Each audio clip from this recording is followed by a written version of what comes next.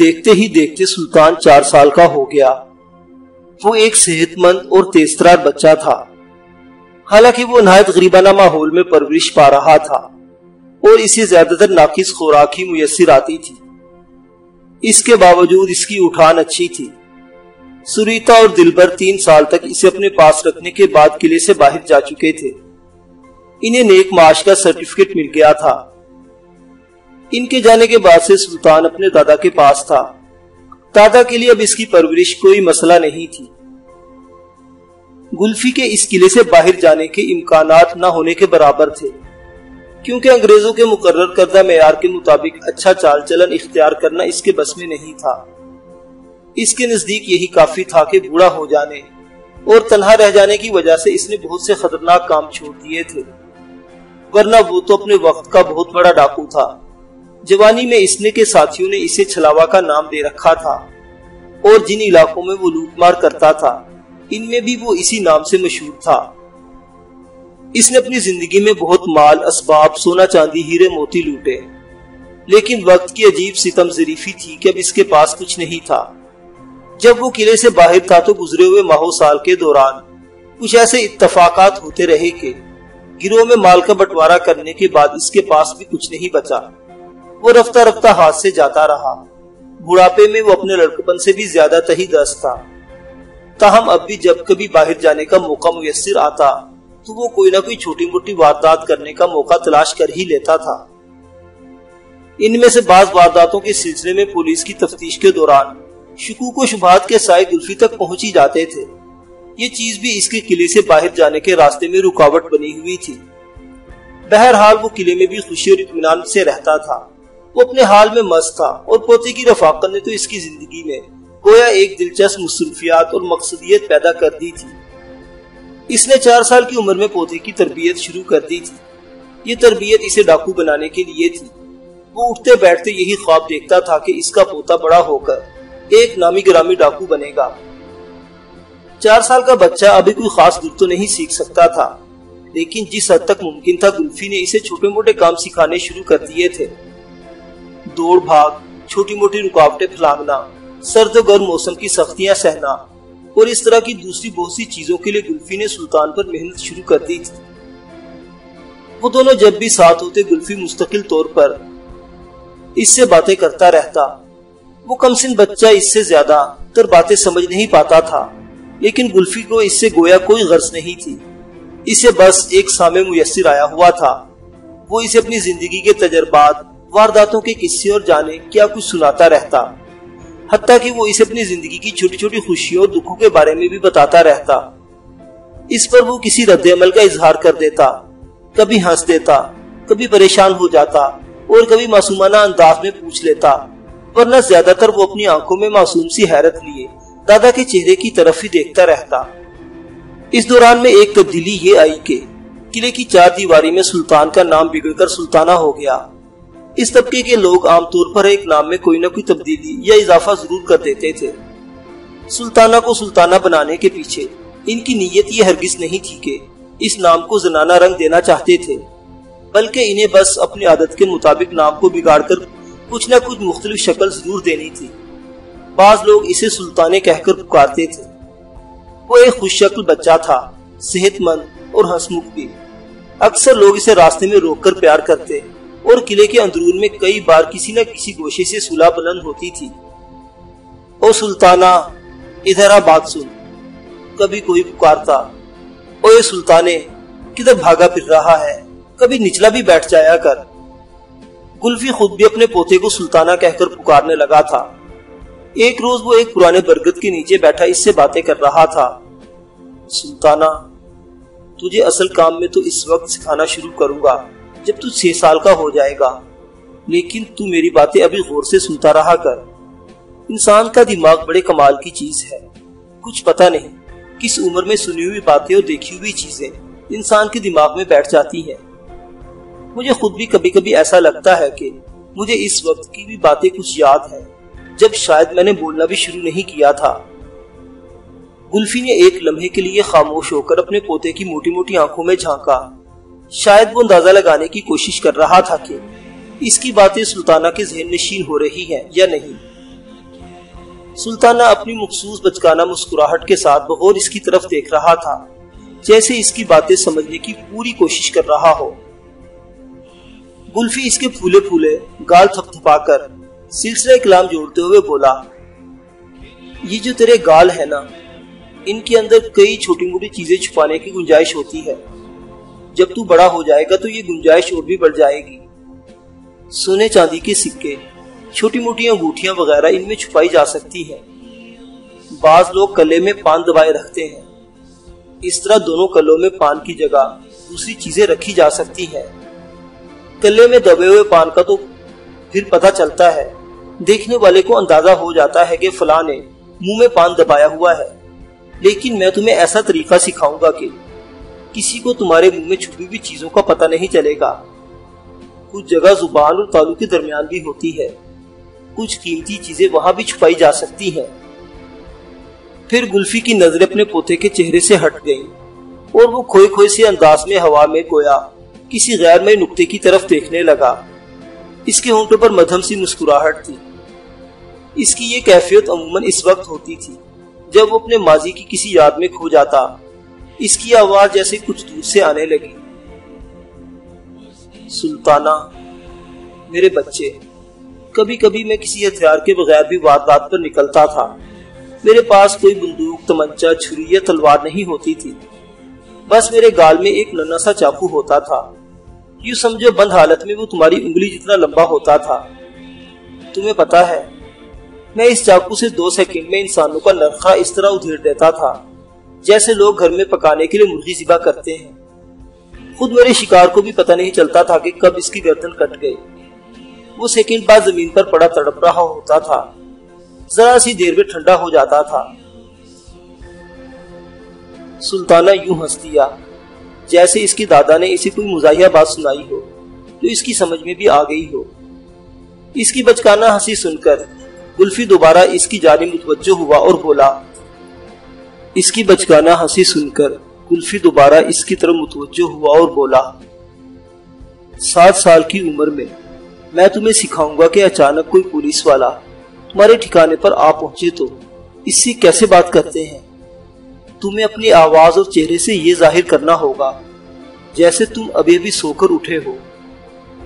انگریز پولیس افسر کو چکر دینا زیادہ آسان ہوتا ہے۔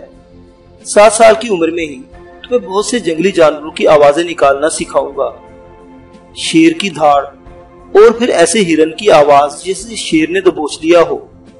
مور، کوئل اور بلبل وغیرہ کی آواز۔ یہ سب آوازیں نکالنا میں تمہیں سکھاؤں گا۔ ان سے بڑا فائدہ ہوتا ہے۔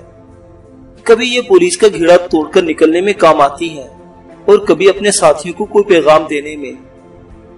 تم یہ آوازیں نکالنا سیکھو گے نا؟ ننے سلطان نے شاید اس کی بات سمجھے بغیر اس بات میں سر ہلا دیا۔ شاید وہ کم از کم یہ سمجھ ہی گیا تھا کہ اس سے کچھ پوچھا جا رہا ہے۔ اسی اسباب میں سر ہلاتے دیکھ کر گلفی کے چہرے پر تمانیت آ گئی۔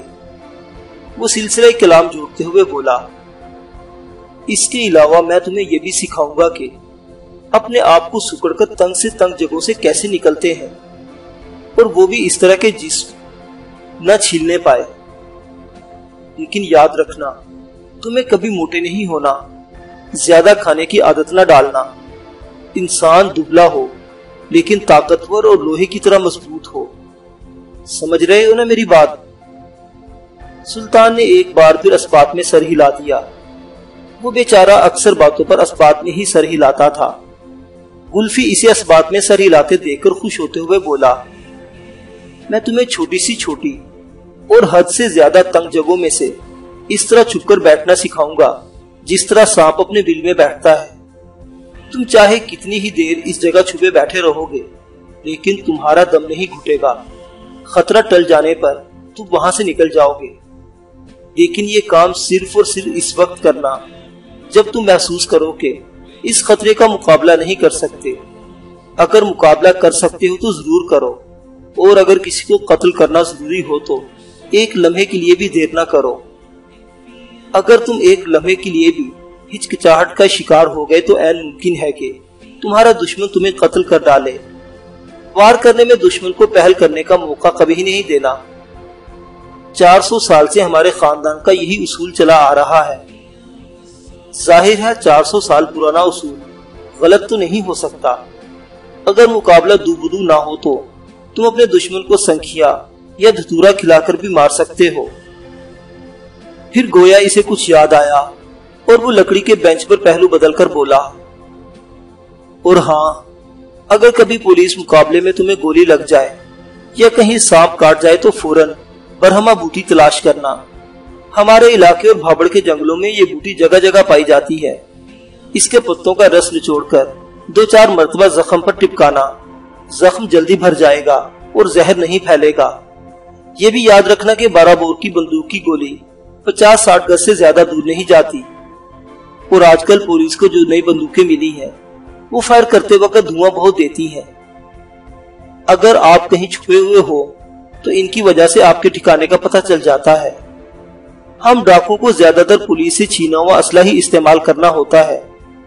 اس لیے ہمیں اس کے بارے میں زیادہ سے زیادہ معلومات بھی ہونی چاہیے۔ گلفی اپنی دھن میں اس قسم کی باتیں کرتا رہتا تھا۔ وہ یہ سوچتا نہیں تھا کہ چار سال کے بچے سلطانہ نے ابھی تو کسی بندوق کو ہاتھ لگا کر بھی نہیں دیکھا تھا۔ گلفی کو اس بات سے بھی غرض نہیں تھی کہ سلطانہ اس وقت کھیل کود کے لیے ادھر ادھر جانے کے لیے بے چین ہو رہا تھا اور بینچ پر اس کے برابر بیٹھا کسمس آ رہا تھا۔ گلفی بات جاری رکھے ہوئے بولا، سال میں دو مرتبہ ایک پولیس پارٹی بجنور سے خاص طور پر یہاں آتی ہے۔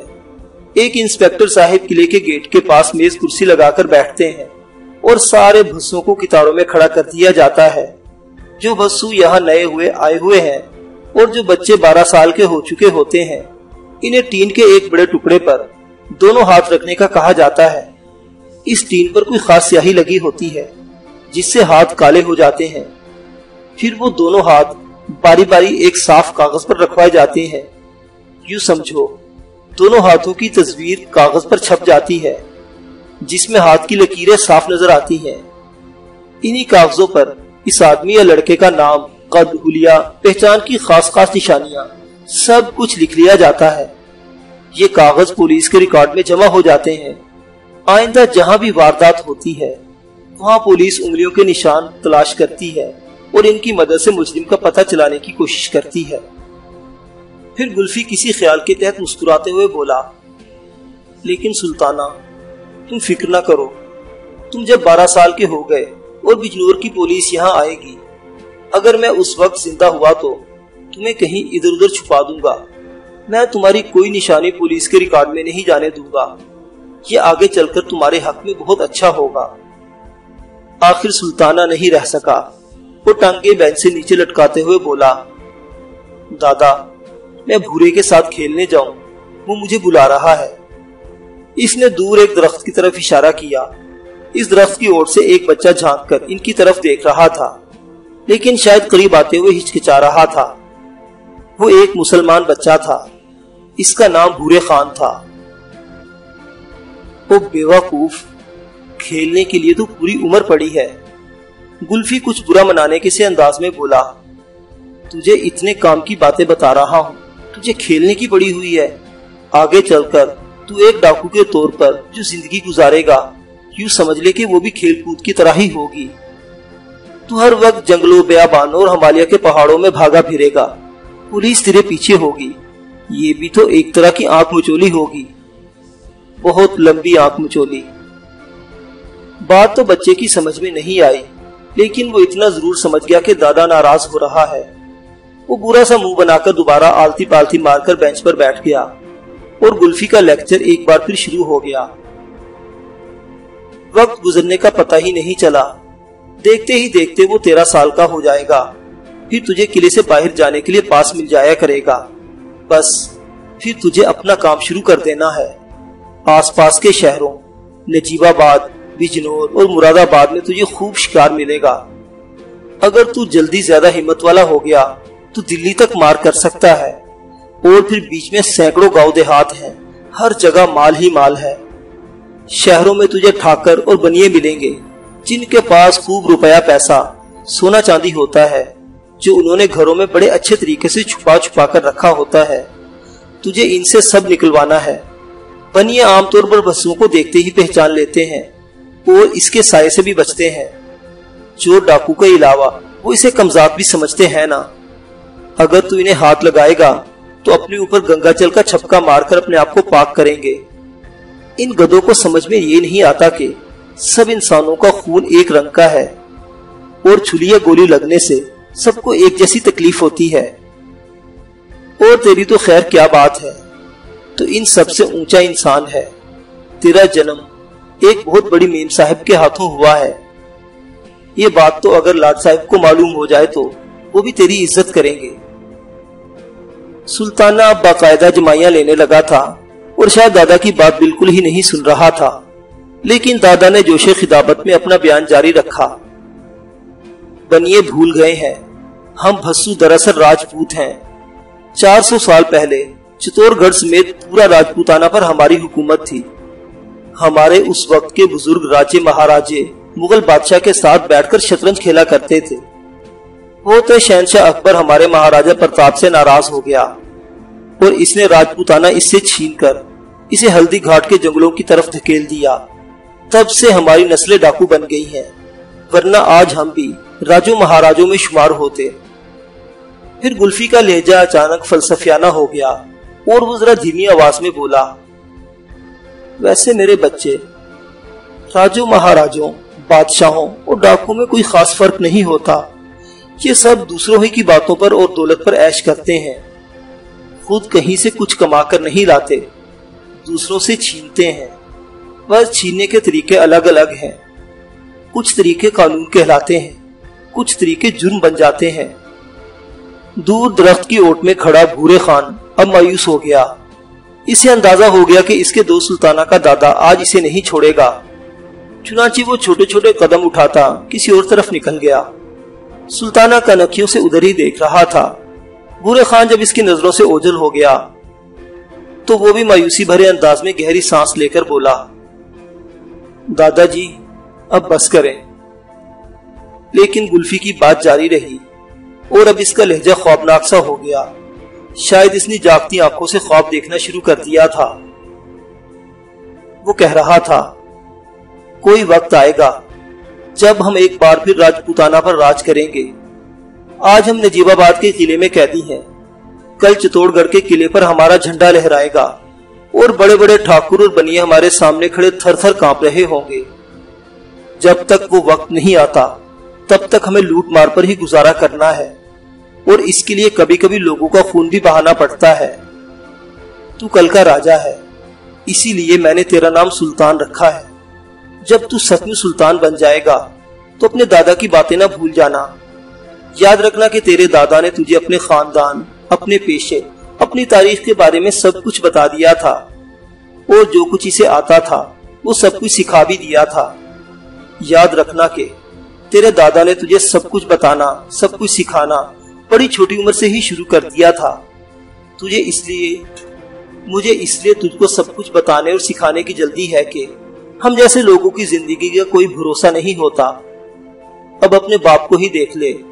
ابھی اس کی عمر ہی کیا تھی؟ اسے تیری شکل بھی دیکھنا نصیب نہیں ہوئی۔ کیا پتا کل میں بھی اس طرح قلعے سے نکل جاؤں اور پھر لوٹ کر نہ آؤں۔ تو اس دنیا میں بالکل اکیلا رہ جائے گا۔ میں چاہتا ہوں جس عمر میں بھی اکیلا رہ جائے۔ اس عمر میں ہی ان سنسار میں دھڑلے سے جینے اور زمانے سے دو دو ہاتھ کرنے کے قابل ہو۔ اگر تو ذرا بھی کمزور ہوا تو یہ دنیا بھیڑیے کی طرح تجھے کھا جائے گی۔ یہ کہتے کہتے نہ جانے کیا ہوا۔ گلفی کی آواز گلے میں بالکل ہی پھنس کر رہ گئی۔ پھر اس نے اپنی پیشانی مسلدے کے بہانے دونوں ہاتھوں منہ میں چھپا لیے۔ دراصل اس کی آنکھوں میں نمی چھلک آئی تھی اور وہ نہیں چاہتا تھا کہ اس کا ننا پوتا اس کی آنکھوں میں نمی دیکھے۔ گو کہ اسے معلوم تھا۔ اگر اس کے کمسن پوتے نے اس کی آنکھوں میں نمی دیکھ بھی لی تو اس سے کیا فرق پڑے گا؟ وہ اس کا مطلب نہیں سمجھ سکے گا۔ پھر بھی گلفی نے غیر ارادی طور پر چہرے پر ہاتھ رکھ لیے تھے۔ وہ ایک ننے سے بچے کے سامنے بھی کسی کمزوری کا اظہار کرنا نہیں چاہتا تھا۔ اس نے اس بات پر بھی توجہ نہیں دی کہ سلطانہ تو اس کی طرف دیکھ ہی نہیں رہا تھا۔ وہ تو اسی طرف دیکھ رہا تھا۔ جدھر اس کا دوست بھورے خان گیا تھا